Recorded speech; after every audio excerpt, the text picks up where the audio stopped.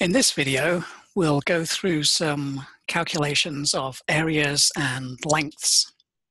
So we'll start with this example here. And we've got a, a quadrilateral here, but, but none of the sides are necessarily parallel or equal. And uh, the only other information we're given is that these red lines are perpendicular to each side that they come from, and they all, all the perpendiculars meet at the same point in the middle here. So how on earth are we going to calculate the area of this irregular quadrilateral? Well, whenever you're faced with uh, some polygon that you have to figure out the area for, a good strategy is to see if you can create triangles in the polygon that will allow you to calculate the area using additivity. So for this irregular quadrilateral, let's see what happens if we draw a couple of extra lines. So let's draw a line here and here, and then here, and then here. And then now you should be able to see that we have four triangles. And we know the base of each triangle and we know the perpendicular height of each triangle. So for example, let me highlight one triangle. Let's highlight this triangle here. Okay, what is the area of that triangle? Well, the base is five centimeters and the height the perpendicular height is 4 centimeters. So the area is 0.5 times 5 times 4, half base times height. Okay, so that's the first part. Okay, let's look at another triangle. I'll just uh, point to this one. I won't. I won't bother highlighting it. But uh, this triangle here. Okay, got a base of seven and a height of six. So its area is going to be a half times seven times six. Okay, and then hopefully you can figure out what the last two are.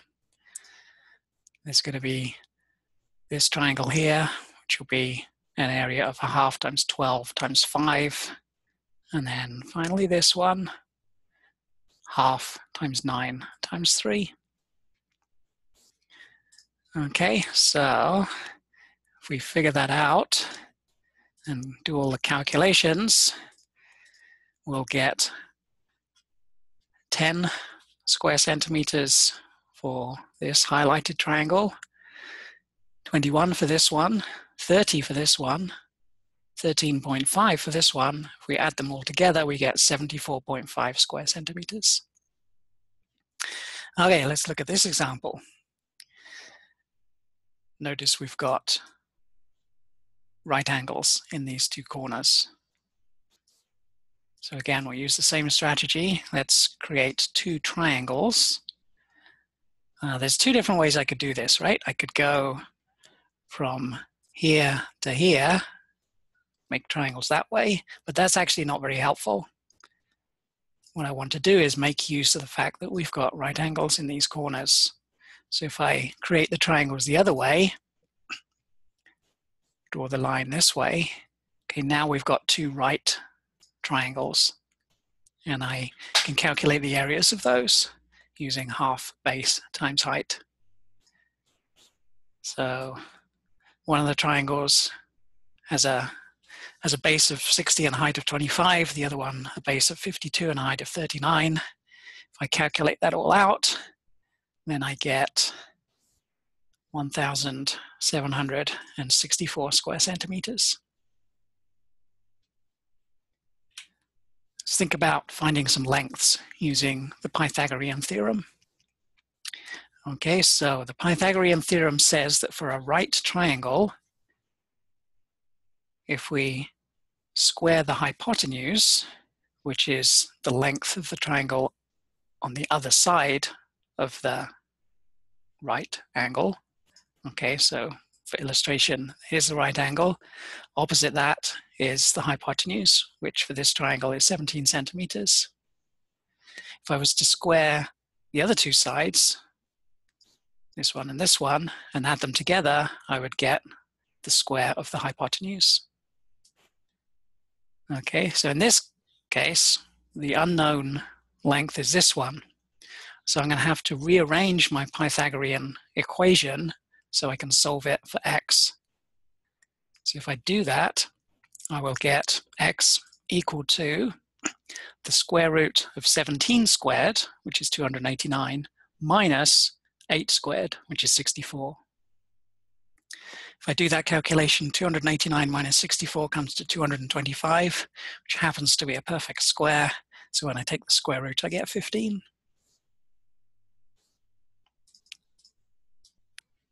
Okay, similar example here, only my numbers, although they're smaller numbers, they're actually a little more difficult to work with because I'm not going to end up with a perfect square in this example. So here's the calculation. X is equal to the square root of 2 squared minus 1 squared, which is the square root of 4 minus 1, which is the square root of 3, which comes to 1.732 rounded to three decimal places. Okay, this example is a little bit different. Okay, I'm given the hypotenuse, but I'm not given either of the other two sides, but the other two sides are equal. Got an x here and another x here, means these two sides have the same length.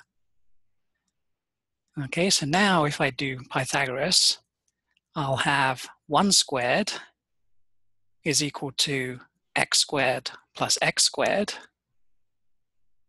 In other words, 1 squared, or 1, is equal to 2x squared. So x squared must be a half, so x must be the square root of a half. And that comes to 0.707 to three decimal places. Okay, last example. It's a bit of a puzzle we're given a right triangle. Actually, we're given two right triangles. There's a small one that goes up six centimeters, hypotenuse of 10 centimeters, and I don't know what the base is.